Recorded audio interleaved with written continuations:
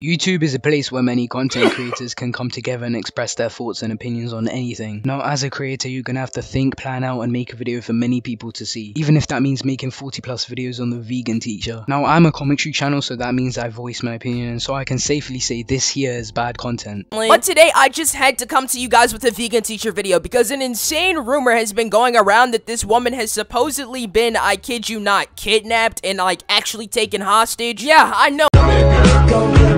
While this video is mainly focused on me dropping my two cents, the main intention is still criticism. There's many different types of commentary channels on YouTube and it seems like a lot of these channels have developed egos and extreme levels of confidence for detail level work leave like on the video right now But no, seriously, in this video, we're gonna be talking about how this woman has basically been using Dream for clout, alright? It's ridiculous. It's honestly insane. Like, this woman has been using Dream for clout for the past, I don't know how long now, and, and we just gotta go over the situation, so... The video being presented is by an 100k sub YouTube commentator named Pointless and was uploaded on the 29th of May 2021. Nonetheless, the video is awful like a few of his other ones. It's 8 minutes of nonsense on a topic he clearly has no passion for and the title is clickbait and the video idea is clearly exaggerated like a few of his other ones. And I don't judge the video because it's made on Dream, I judge the video because it has nothing to say that's informative. And if you look at the rest of the discography on this channel, you start to realize there's a pattern. And of course, these types of channels have to spam videos in your subbox about vegan teacher or Dhar They have to because they have genuine points to make, right? It can't be because the people being discussed have thousands of subscribers on YouTube, and that would definitely give them a burst of attraction. But for real, it makes sense analytically, but at least make your videos less repetitive. The vegan teacher could sneeze and like 10 videos are already made on it. Credit where it's least Pointless puts a little bit of effort and personality in his videos, you know, he just doesn't have a dry voice when sitting behind a microphone.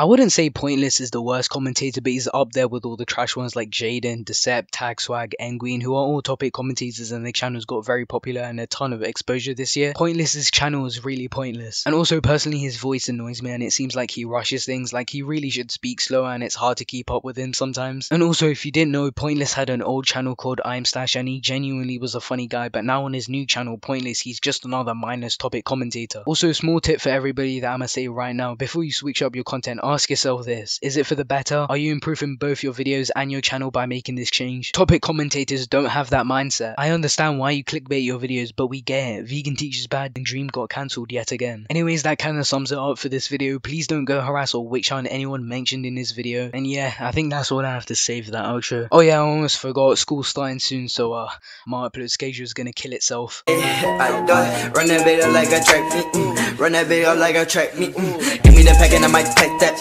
She got a fatty, I might pack that. Give me your addy, we pullin' up to your bed, and then we gon' put her to rest with no click clap. Ooh. I run that bit like a boy with a cell on it. She so my dick, then I fell on her. I got the pack in the box, I said, man, open it up and then seal it up. I'm from the street, I feel like